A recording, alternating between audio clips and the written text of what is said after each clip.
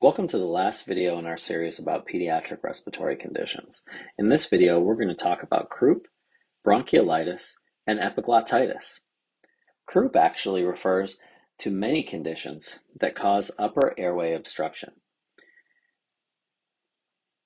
Classically, croup is referred to as kids who have a barking or seal-like cough. As we said, croup syndromes involve any condition that causes narrowing of the upper airway, as you can see in this illustration to your left. The resulting cough is usually inspiratory and is described as barking. Based on the degree of the obstruction of the airway, you may see other signs of respiratory distress as well, such as suprasternal or clavicular retractions. Because airways are smaller in younger children, we typically see these conditions in younger children from six to three years of age, and croup is very rare after six years of age.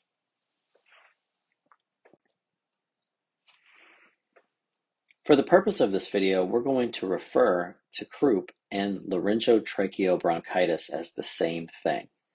But keep in mind there are several different croup syndromes. Laryngotracheobronchitis is exactly what it sounds like. It is inflammation of the upper airway. It's the most common type of croup syndrome. In fact, most people just call this croup. It's most commonly due to parainfluenza virus type 1. However, there are many viruses that can cause this. And as we said before, in a child who has viral symptoms and a barking or seal-like cough, they likely have croup. If the obstruction of the upper airway is bad enough, you'll hear stridor as well.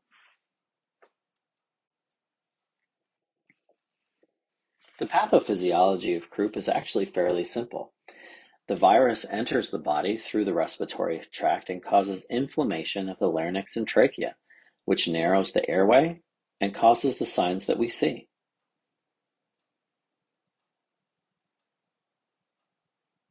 During expiration, you have a large volume of air in your lungs. As you relax, that air pushes out through your trachea, and the pressure inside stents your trachea open. However, when you go to breathe in, which if you remember is an active process, this tries to pull air through your upper airway.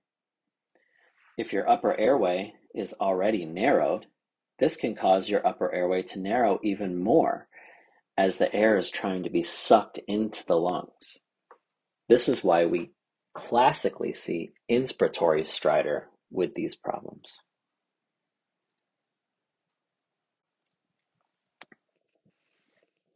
And this is an illustration of what we just said.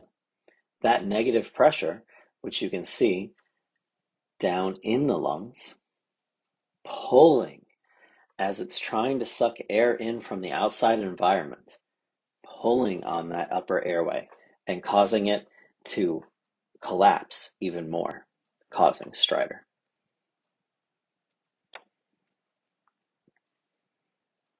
Other classic manifestations of croup include everything that you would expect with a viral illness, including rhinorrhea, congestion, cough, and some degree of fever. As with any other illness, we want to know the severity of the illness before we consider how to treat it. And we can make a croup score, such as the one shown here, to help guide our treatment of the child.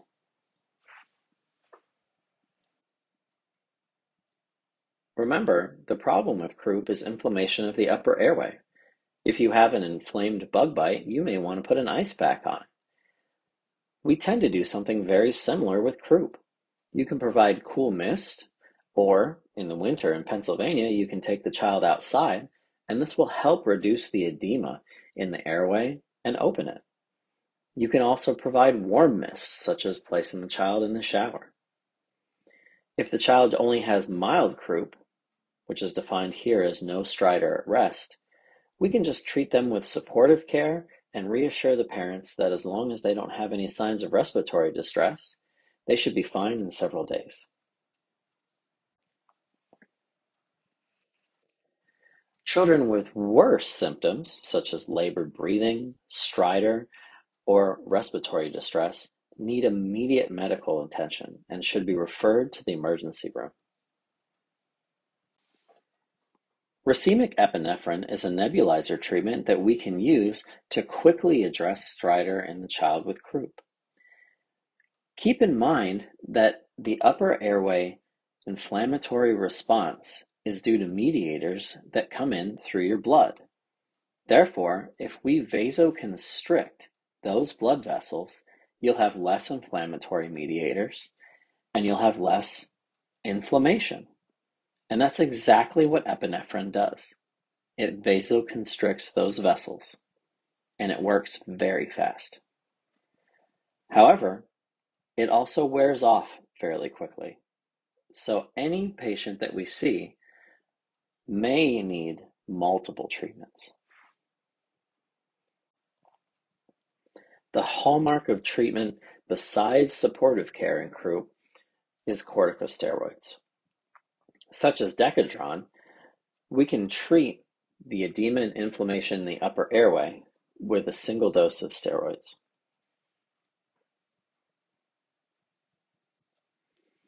Now let's talk a little bit about bronchiolitis. Bronchiolitis is basically just what the medical term means. It's inflammation of your bronchioles. This is usually due to a viral infection, and we see these during the times of year that viral infections are common. Most cases of bronchiolitis are caused by respiratory syncytial virus, or RSV. However, it's important to know that any virus can cause bronchiolitis.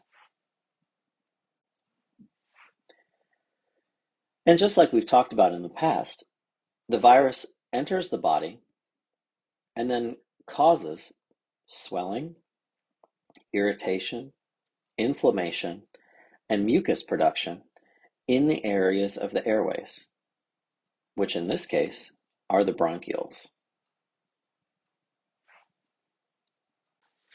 Just like we saw in our asthma or CF patients, patients who have edema inflammation, and mucus in their airways can lead to obstruction of their airways, poor aeration of the lungs past the mucus, and hyperinflation.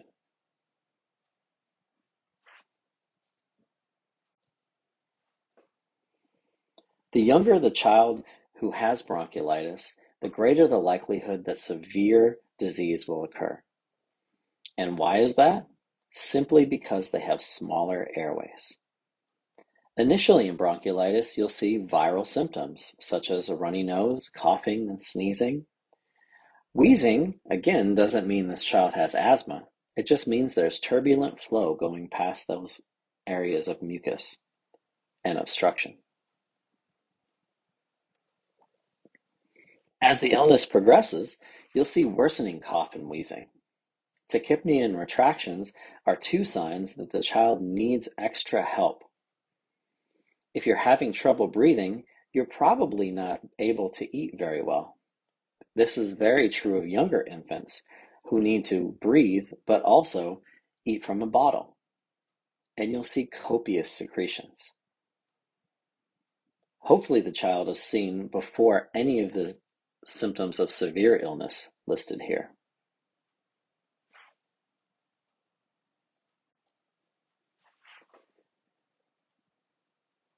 The diagnosis of bronchiolitis is typically made clinically.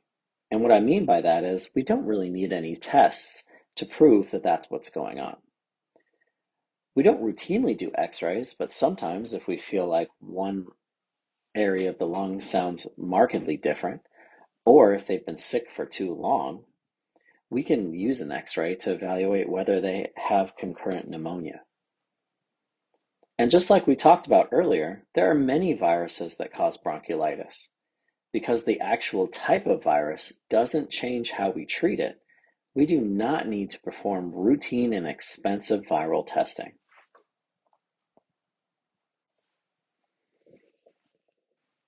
You've heard it before in many sections of our video series, but supportive care is the hallmark of treatment for bronchiolitis.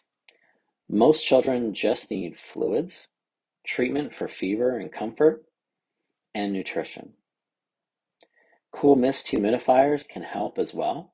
Again, all you're trying to do is reduce that inflammation and edema in the airways and thin that mucus so the kid can get it out. Anything more than mild bronchiolitis tends to need treatment either in the ER or admission to the hospital. If you're having respiratory distress, poor feeding, which may place the child at risk for dehydration or hypoglycemia, or if you're having hypoxemia, this is a child that probably needs to be seen and admitted to the hospital. And remember, if the child is breathing very quickly, they're at risk for aspiration if you attempt to feed them. So we prefer IV fluids for these children. For younger children, make sure you check glucose. High flow nasal cannula is a basically larger bore nasal cannula that can provide both oxygen to help with respiration, but also an increased level of flow to help with ventilation. This gets extra humidity and oxygen down into those airways, but also provides some positive pressure to keep the airways open so the child can breathe easier and so that we can get this mucus out. This is an illustration of a high-flow nasal cannula system, which you can see is basically just a larger nasal cannula that's hooked to a humidifier and then attached to a gas blender so that we can change how much flow or liters per minute they need to help with work of breathing, but also blend in how much oxygen that they need to keep their sats in an acceptable range. We can give anywhere from 21%, which is room air oxygen, all the way up to 100% oxygen using this system.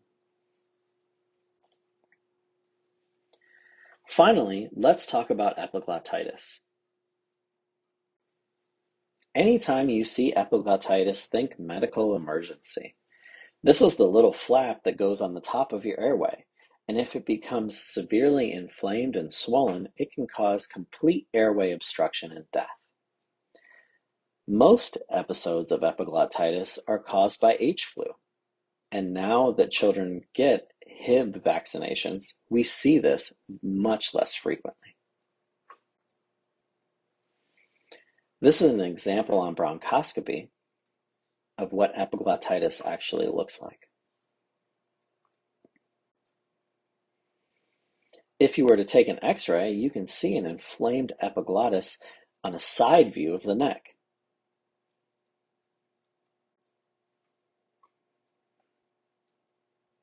Onset of epiglottitis is usually rapid and can quickly progress to severe respiratory distress. The child is uncomfortable and feels like they can't swallow or breathe, so you can see drooling, respiratory distress, and as well as the child sitting upright in a tripod position.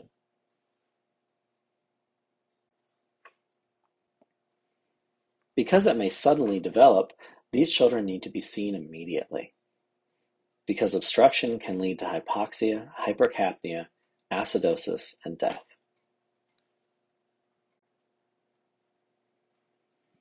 We do not even want to examine this child's airway or cause them any undue stress or anxiety before someone is there who can respond with emergency airway equipment.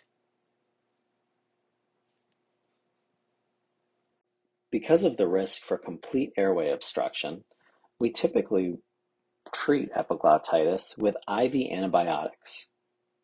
We may also use corticosteroids to help reduce the inflammation and edema. Thank you very much.